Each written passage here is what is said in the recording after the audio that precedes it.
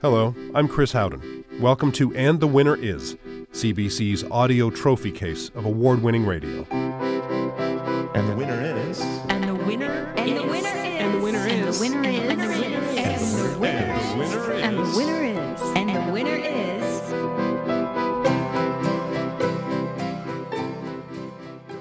Without question, Lhasa de Sela had a unique childhood. She lived on a bus exploring the United States and Mexico with her mother and father, her three sisters, two cats, and three birds. Eventually, she settled in Montreal's Mile End. She surrounded herself with fellow artists and musicians. She was never concerned with the vagaries of the music market, but that didn't stop her three albums from being huge successes. She moved between Spanish, French, and English as fluidly as she moved between time zones and landscapes. When Lhasa died on New Year's Day 2010, it came as a shock. In Montreal, it was as if the world had ground to a halt. Her website reported that it snowed for more than 40 hours after her departure. A number of months after Lhasa died, writer and broadcaster Madonna Hamel rediscovered a conversation she had recorded with Lhasa a few years earlier. She decided to go to Montreal and share that recording with some of Lhasa's fellow artists and friends. The result is a documentary featuring a mix of voices and song, including parts of her original conversation with Lhasa. Most of the conversations took place at a small cafe a few doors from Lhasa's home. Here is She Moves Between Worlds. There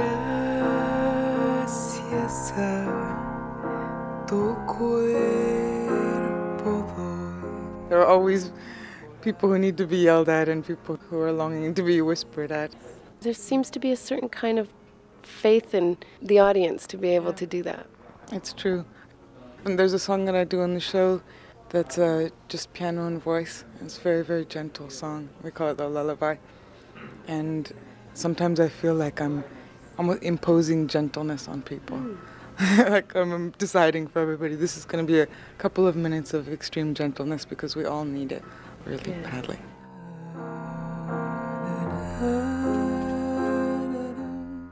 Her gentleness and at least her thrive to gentleness was very solid. I remember I was on tour with her just for fun, and we were in Berlin, and we passed in front of a shop that was selling um, those tricks, you know, uh, like glasses that you can see backwards with, and uh, lighters that if you light them you get an electric shock. And I bought the lighter, and I was having so much fun, like giving it to people, and they would get the electric shock. And and, and there was this man coming who asked for a light, and we were all sitting uh, on a bench. And so I ran to him and I gave him the lighter, and she got so upset. And she was the only one who just stood up and said, "No, no, you can't do that," you know. And it was really a joke and a stupid thing, but she had a lot of trouble being unkind.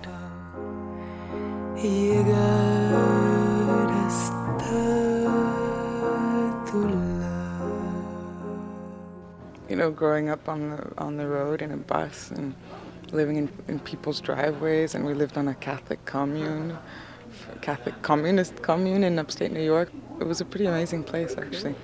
It's like I wasn't just reading about adventures and, and magic. I was also living it. I mean, we'd be we would live in places where there was no electricity, which is really amazing because then you look up in the sky at night and you see the Milky Way, and, and just living with that presence changes a lot of things. Your your life is much more magical, and animals and the ocean, and you know, like almost drowning in the ocean and stepping on a sea urchin and you know all of these kind of strange intense experiences are like living in trailer parks where there were really strange really strange people and living kind of out on the edge.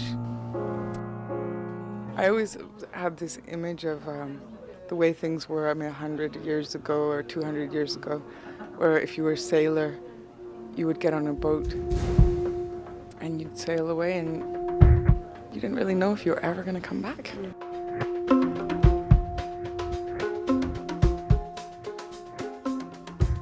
con toda palabra, con toda sonrisa, con toda mirada, con toda caricia.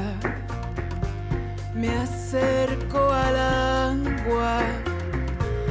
bebiendo tu beso, la luz de tu cara, la luz de tu cuerpo. Es ruego el quererte, es canto de mundo, mirada de ciego, secreto desnudo. Me entrego a tus brazos con miedo y con calma, un ruego en la boca y un ruego en el alma y un ruego en la boca y un ruego en el alma. Whatever we did, she wanted to enjoy the process. That's what she wanted. Ralph Tfuni. I met her when she was looking for a director to do her uh, music video. She thrived on symbols and, and, and magical stuff and fairy tales. Uh, she loved the fact that big change can happen, massive change, in the smoothest, simplest way without drama. Uh, I will show you a little card she gave me. It's like this cartoon little bunny doing a painting, and it says art is simple. You'd think Lhasa. No, no. it's bunny saying art is simple. That's Lhasa. Of course, this is the summum. Art is simple.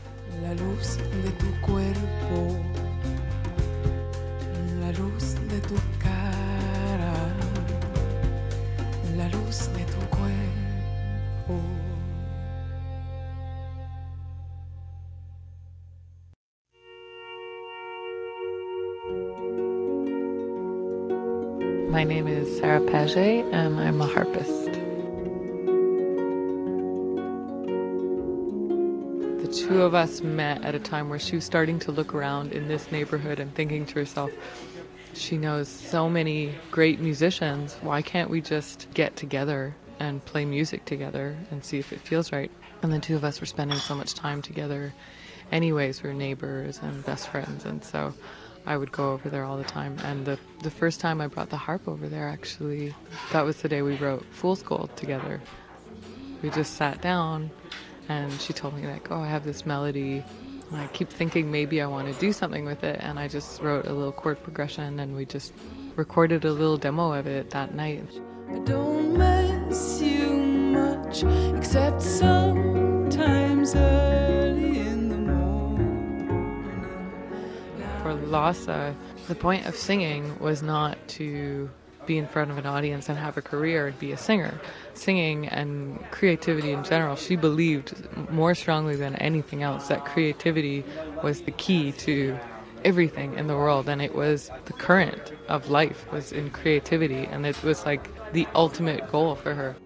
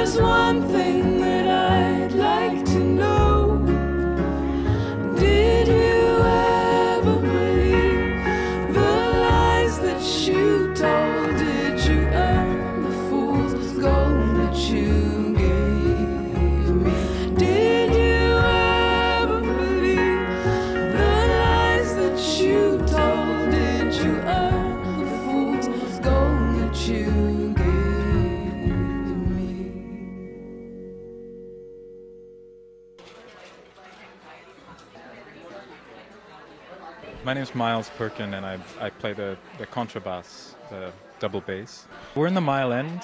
Lhasa just lived right around the corner from here. Her house is maybe five houses away from where we are now. I used to live just at the other end of this street. I think the first time we spoke was just at the side of a stage after a concert that neither of us were involved in. She explained how much she just loved the sound of the bass. Like she really had like a passion for that, just kind of that boost of air that it gives. I got caught in a storm and carried away.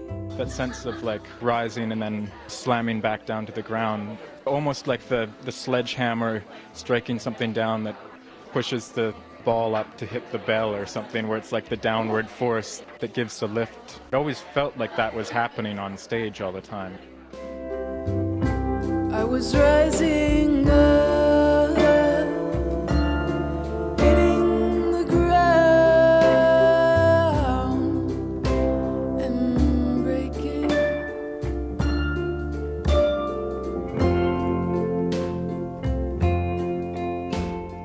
interesting thinking back of intensity and performance and the way she used to perform versus now.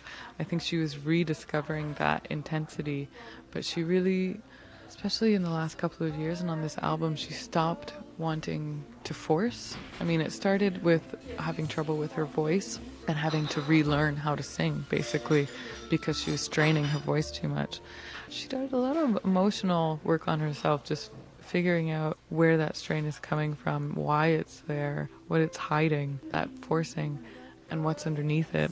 Always stripping away layers uh, between herself and her art and the world. She was just intense because she was she was so incredibly connected and solid. She could just breathe and allow everything to open up without having to force it through anymore. It's true. When I started out, just to get my kind of my courage up to be on stage, I needed an incredible amount of intensity and emotion. It kind of filled up the space, the, the scary space, you know. And I discovered over the years that people were listening and that I could I didn't have to yell. And the great pleasure of um, of kind of pulling back and letting people come towards you is really a wonderful feeling. And when it happens during a show, then you feel like something's really happening. Because if you think it's all supposed to come from you and that people are just passive you know, screens or r- containers for what you're pouring onto them, it can get exhausting and boring. Mm-hmm. The, what's interesting is the meeting. I don't know how often I've gone to see a show where there is so much silence in in a song that there's something so incredible about using waiting and especially performing in that way all of a sudden you're so much more connected to and reliant upon your audience. They're going to affect what you're what you're doing so much more greatly when when you decide to just wait. In the middle of a song and just stop the song and not move and nobody moves. And if your audience is really with you all of a sudden everybody is allowed to just sit there expectantly together and have this experience. She she always dreamed of singing this way and she said towards the end the last performances we gave she was starting to feel that it was actually happening. Like she was singing and we were just this organism. Like we were all part of the same body. She always said that we're all singing. I'm just the one with the mouth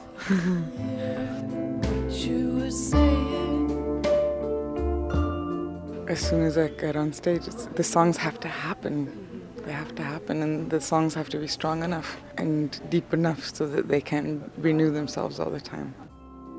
I couldn't hear what you were saying. She was very careful to make sure that the songs always stayed really alive and would actually kind of have more vitality the more we played them as opposed to less, you know? So instead of getting tired of the songs, it would be like each time we'd revisit it, we'd discover something new. She was just really open and almost kind of a passivity in the best possible way, where it's an acceptance of whatever's happening. Kind of allowing everything in, allowing the audience to really be part of the performance. And like the experiment on stage became what can we not play this time?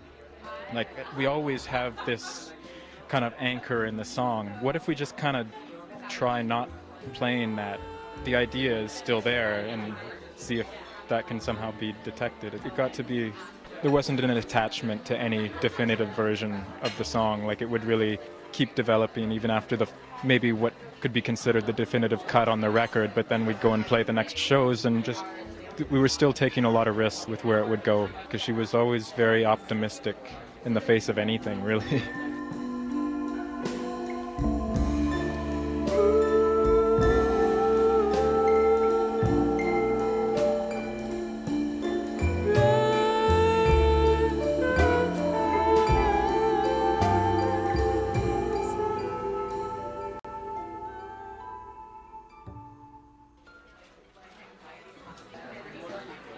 was always about change. Always. Transformation is about small things. And maybe we, it's not that we don't w- like it or want it or it doesn't interest, maybe we overlook it or we just can't hear it. Yeah. It never occurred to us. It never occurred to us that it was in this little thing. Yeah. I made a small, small song. And I think that's why it can be kind of unattractive to people in, in a certain way. Like, it's not as dramatic as catharsis is. Catharsis is very dramatic and colorful and it makes a big bang. This song is my small song.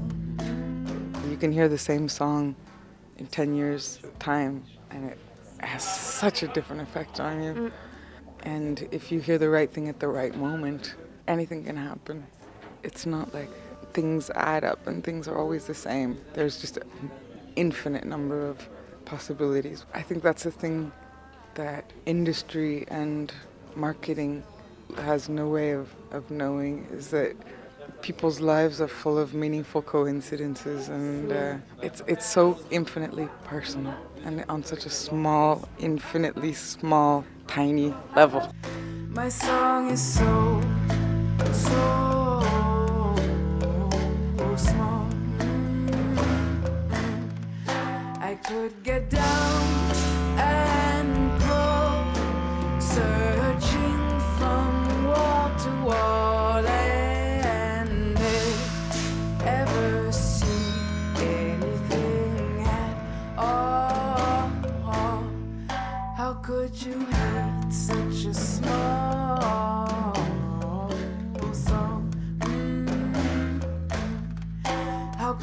hate such a small song? Mm. If I was right, I would be wrong.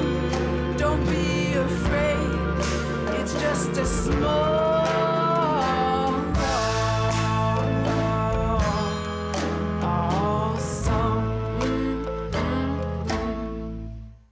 You're listening to And the Winner Is on CBC Radio 1 and on Sirius Satellite Radio. I'm Chris Howden.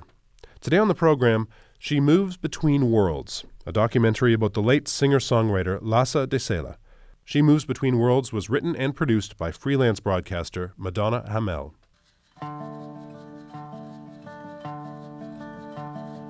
Where do you go when your tides get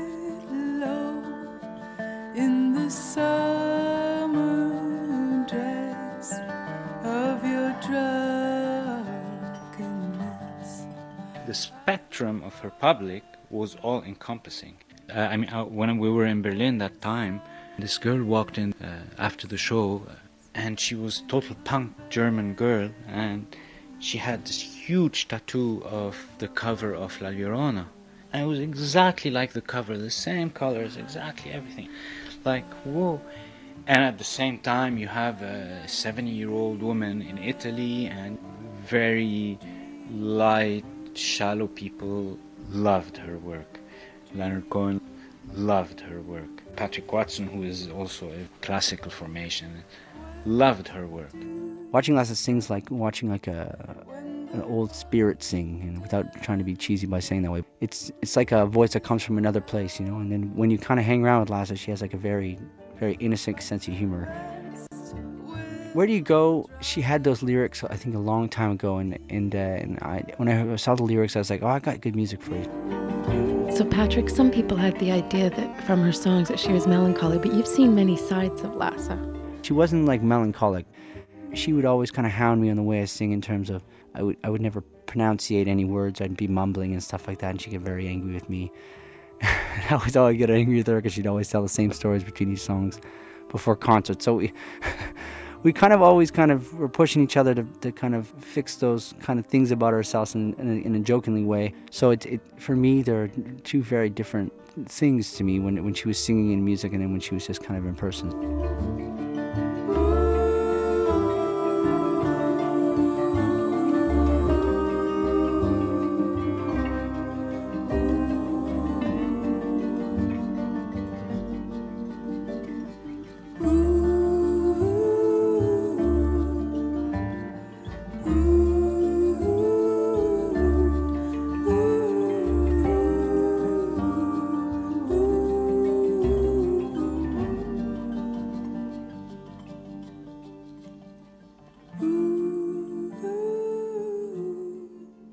Everybody that loved Lhasa, like really loved Lhasa, and she she said to me at one point that she tried when she was performing to imagine that she was providing a feeling of being the soulmate to everyone in the audience. That's how much she tried to give. And I don't know how anyone can do that. That sounds crazy. There's too many people in one place, right? How can you be everything to all people at once? But then again, it's tricky because partly she really did give something that was so incredibly sincere and real and tangible this really intense connection to maybe maybe to our own dreams to our own imagination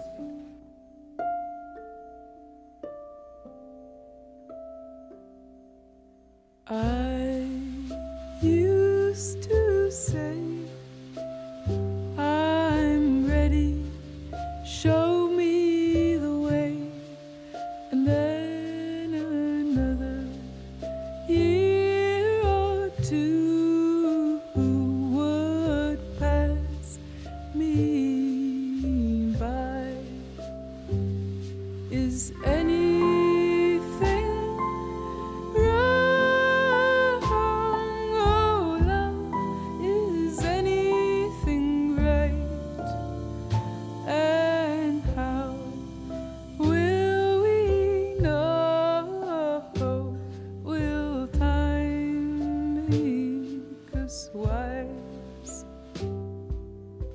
because of who she was, because of how well she could connect to people, all people. I think there was this weird double edged sword thing going on where she often felt burdened by people that she didn't really know, especially fans, all of a sudden feeling like they had some kind of avenue or insight into her or who she was. A tragic, romantic, long suffering gypsy nomad diva, right? Well, she was actually really happy, and more than anything else, she was just funny. She was just the funniest person I've ever met in my life. Well, you know, I never liked her jokes. Like I would, maybe Sarah liked her jokes better than me. she, in a way, she has a sense of humor, but I mean, she has a, she had a very, from my view, I mean, she had kind of, kind of like very kind of fun child, like kind of sense of humor. Like, uh, she'd be like, "Where'd Napoleon put her, put his armies?" And she, she'd go up his sleeves, and I'd be like, "God, you know, okay, it's cool, it's a good joke."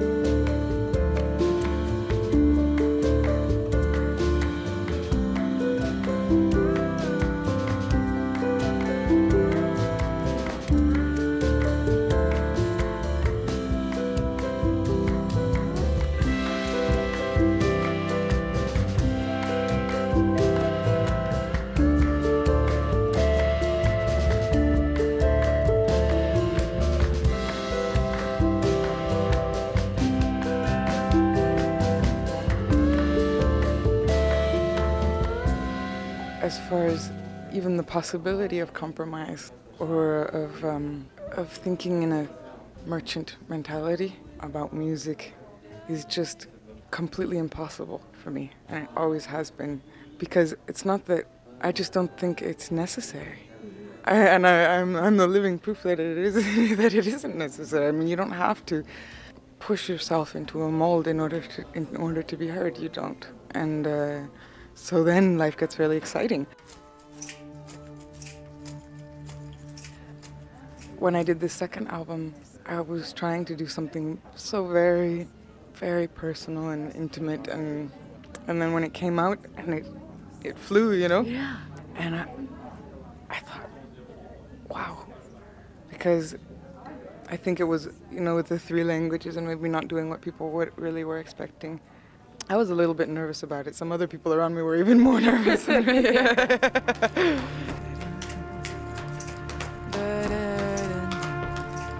You've traveled this long, you just have to go on.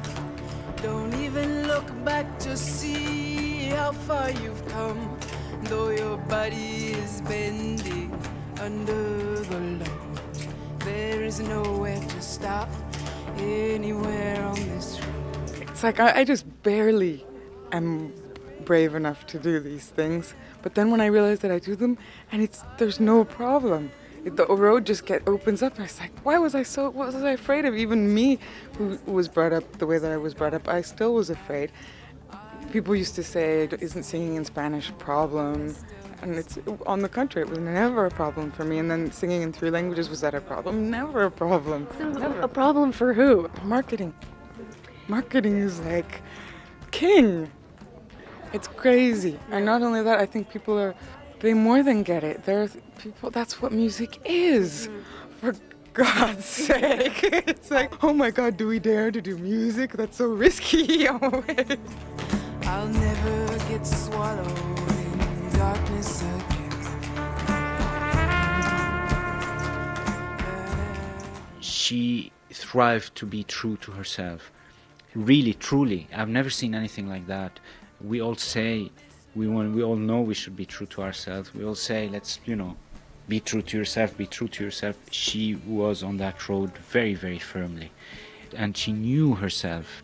And sometimes that made her very mean to others, but she did not compromise, or she very strongly tried to never compromise on that. And I think that was part of her becoming a whole, is not to cheat yourself. And it's not an easy fight, and you have uh, collateral damage and uh, casualties, but it's an honest and sincere and very, very deep, essential fight actually for some people. It also erases hypocrisy. You know, if you reach a point where you are absolutely true to yourself, then you cannot possibly be a hypocrite. And it's very beautiful to see somebody who is eradicating hypocrisy from his own self.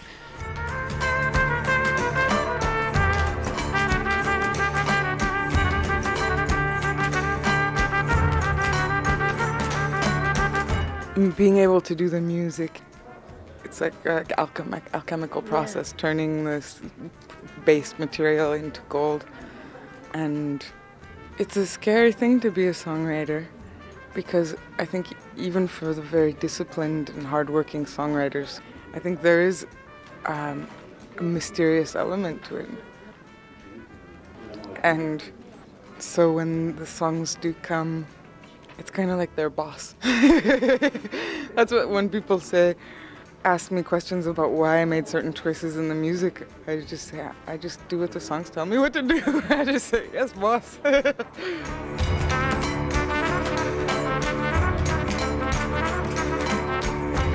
I love fairy tales and old stories, and I think the reason that I love them is because there is something really healing about them.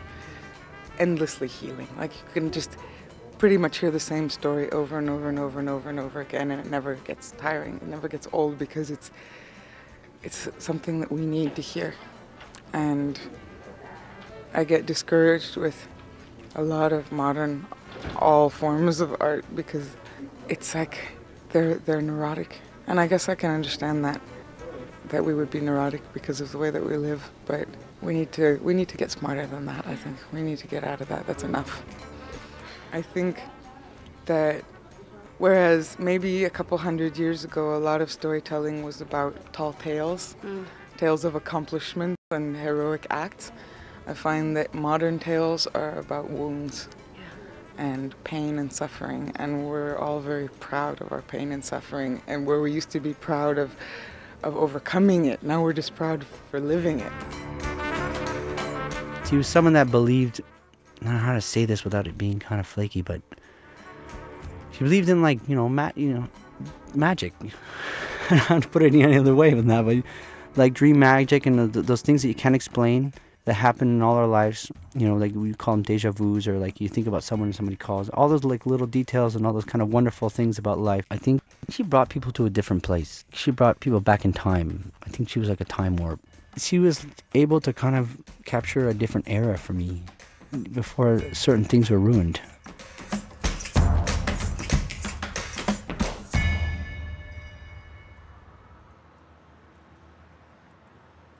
She was a- great poet, an underestimated poet, I think. And uh, poets have a huge, obviously, aptitude to romanticize things, and um, so it's a great device to get over the tougher times. And uh, she had that perfected. And she, when she lacked it in her life, in her love life, or in her daily life, she felt less well. I, I think this was one of the main, main, main central struggles of her life, really. To prove to, to herself mostly that there is meaning in everyday's life and that it doesn't have to be on a level of relentlessly spiritual. It can be in the act of brushing your teeth. I think that it is hard for kids to live with the kind of uprootedness and insecurity that we had when we were kids. So what we attached ourselves onto was the romance of it. And I think that definitely has served me well in my life. It's like I have this basic faith that my life is a story that, that is not a sad story.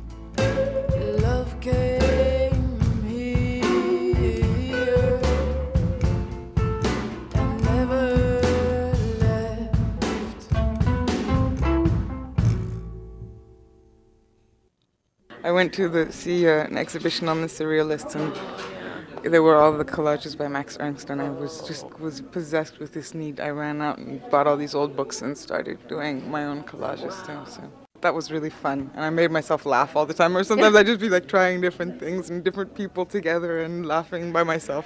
I love that, and I think that's what's really what's really fun about collage. It's very freeing.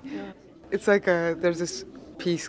It's called The Red Haired Man. I don't know if you've ever heard of it. From Eastern Europe, I think, who said there once was a red haired man, but actually he didn't really have red hair.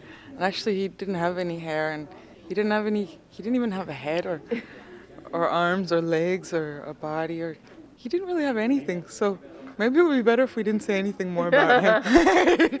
and I love that it's a joke about how easy it is to tell a story. It's like you just say there once was a red-haired man, and all of a sudden everybody believes it and they're ready for the next step. And collage is the same way. It's like okay, you put that there and then you put that there, and it already tells the story. It's so so easy. I love that the animals are and the plants are bigger than the people. I liked that too. I liked it. It made it. It puts it in proper perspective. It's almost like she did look at the whole world as, as one big fairy tale. And there's just meaning in absolutely everything. Like her last album, she had conceived of doing it in, in a few different ways and tried a few different paths. And at one point, she was going to go to France and have it produced by a friend of hers there with a bunch of French musicians who she had kind of a funny feeling about. And as she was about to get in the cab to get on the plane to go make the album, she she got in the cab and realized she'd forgot to say goodbye to her cat. And she ran back in the house and slipped on the ice and broke her leg.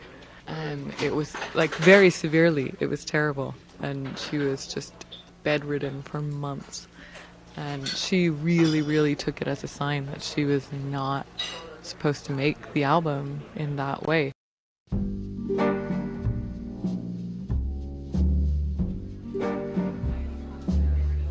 Did have this thing of people and animals being integrated. She loved that idea so much. Lonely spider waiting in a I remember one of the first times that I went to her house, probably the first dinner that we we had at her place together. We hadn't known each other that well yet, and she was sitting um, in a chair with the back like against this white wall.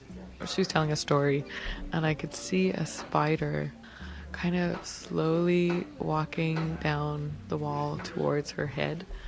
And I was starting to get more and more nervous about it, but she was really animated and I didn't want to interrupt her.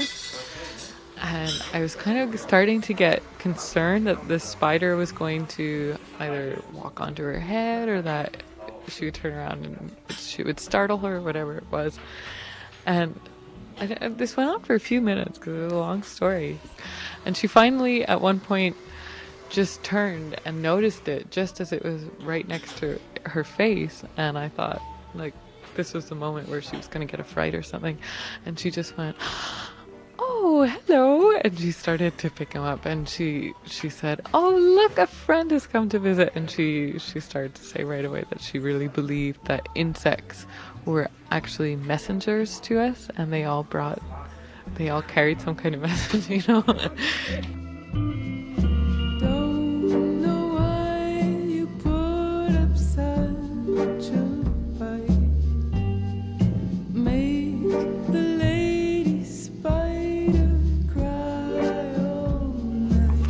For the shows we were going to continue doing she really wanted us to be in costumes but like have each have some kind of animal. Oh god my favorite was she told me this story of when she was a kid. I don't i don't know why. This to me just epitomizes lhasa. She said that when she was a kid.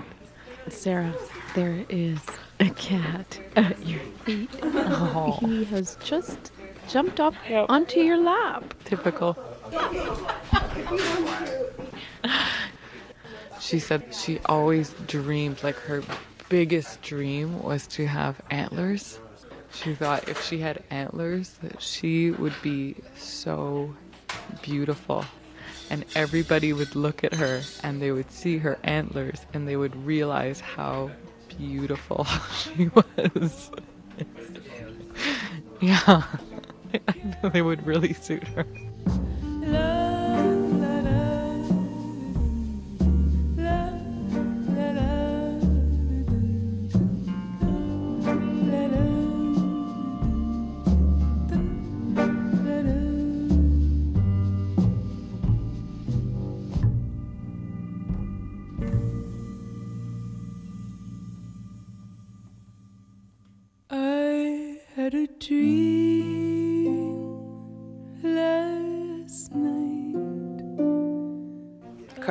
Tells this story about somebody asked a rabbi why, in the old days of the Bible, people would always speak to God and and see visions and dreams and stuff, and how come nobody does anymore?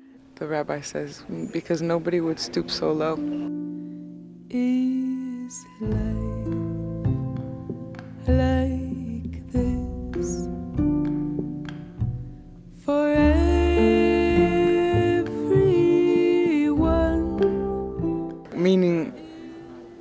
listens to their dreams? Who takes them seriously? People hundreds, thousands of years ago would have a dream and they'd say it's a vision, it's a message, you know. And now uh, people just think, if if they listen to them at all, they can think they're psychologically interesting, but not, you know, divinely inspired. A human face. I carried him. I had a dream about her, I think, the night before she passed away. I didn't really understand it until afterwards, but I was in a car and one of her songs was playing. I just remember, like, it, it was kind of one of those things right before you wake up. I just wanted to sit in the car until the song was finished. So then the song finished, and I flipped off the car and woke up, and I got the news like two days later. Him in, and he couldn't breathe. I, I I've had people come up in the middle of the street. Know, I had one one friend at one point stop and goes, "I had a dream about Lhasa last night, and she in the dream she told me to tell you everything's okay. I'm in heaven with Woody Allen, and everything's going okay." I was like, "Okay, that's cool." Uh, and uh, her father had a had lent me uh, a book called The Song Lines, which was one of Lhasa's favorite books. I had refused to read the book up to there because I knew she was sick and I, I, I it was very difficult to read. But that day I was like, oh, I felt like okay, I'm opening the book. And uh, the day that I decided to open the book, or that, that morning, she passed on probably about the exact time that I decided to open the book.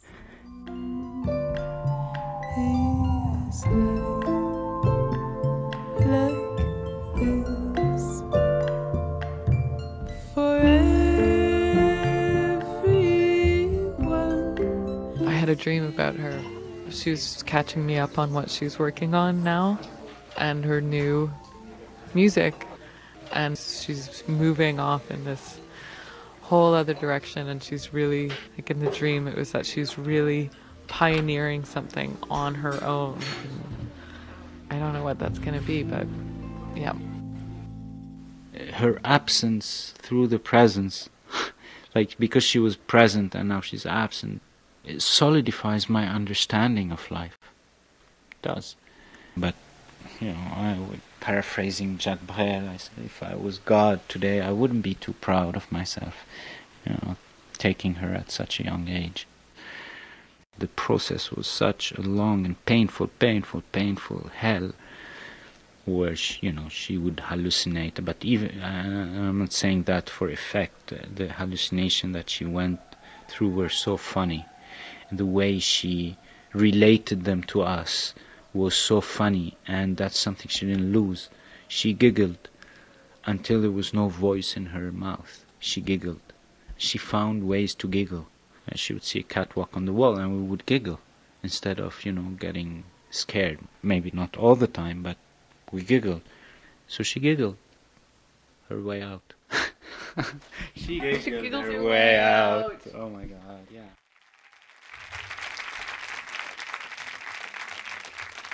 Thank you. This is a story about my father, and he has a new idea. And his idea is that when we're conceived, we appear in our mother's womb like a little tiny light suspended in an immense space, and there's no sound. It's completely dark, and time doesn't seem to exist. And then we're growing, and we keep growing and growing. And as we grow, slowly we begin to feel things and touch things and touch the walls of our world.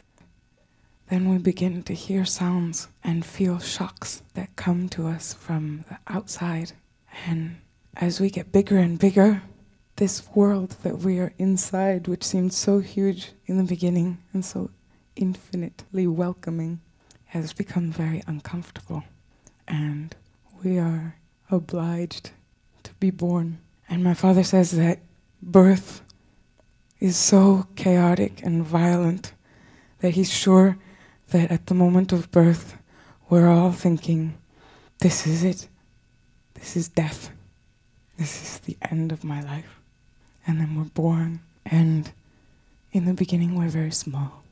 And the world seems infinitely big, and time seems infinitely long.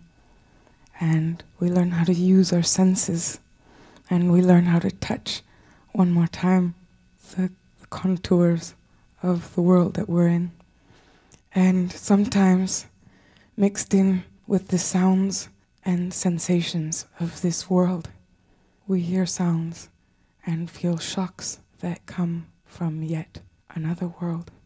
And that other world just follows us our whole lives long, as if something is happening just on the other side of a very, very thin wall. And then at the end of our lives, we're obliged to die.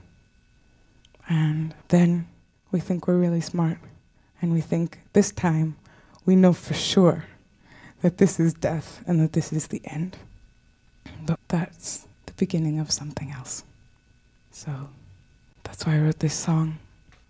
Soon this space will be too small.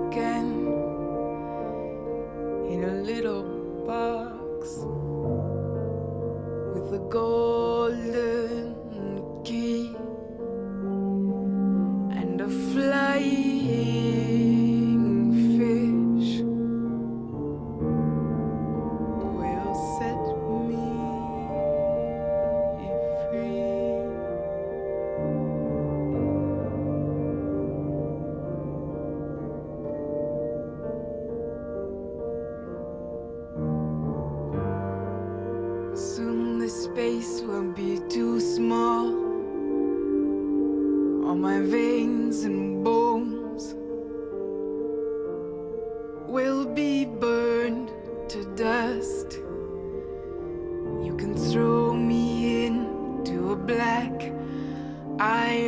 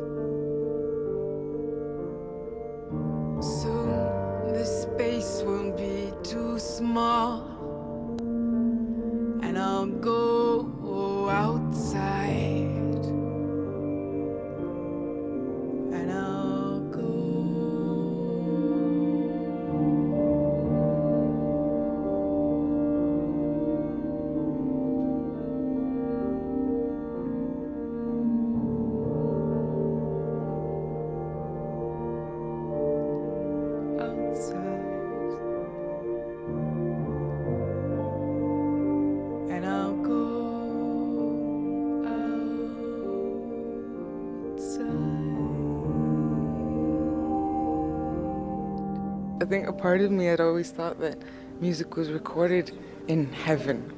like in some imaginary place, like they just caught the music in a net and dragged it down to earth.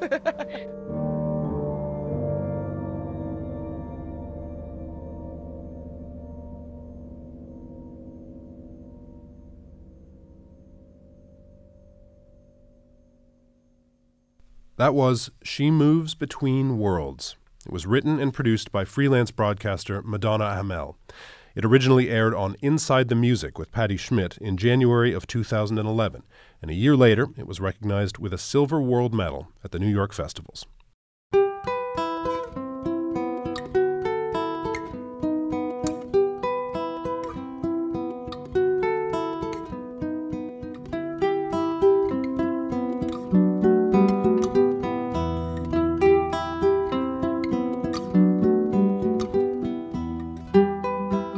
You've been listening to And the Winner Is on CBC Radio 1 and on Sirius Satellite Radio. If you have any comments about today's program, you can contact us through the website cbc.ca slash and the winner is. That's cbc.ca slash and the winner is. Just click on the Contact Us link. That site also includes all of our available podcasts, which are updated every Wednesday. This episode of And the Winner Is is produced by Sinisha Yolich. CBC News is next. I'm Chris Howden. Thanks for listening.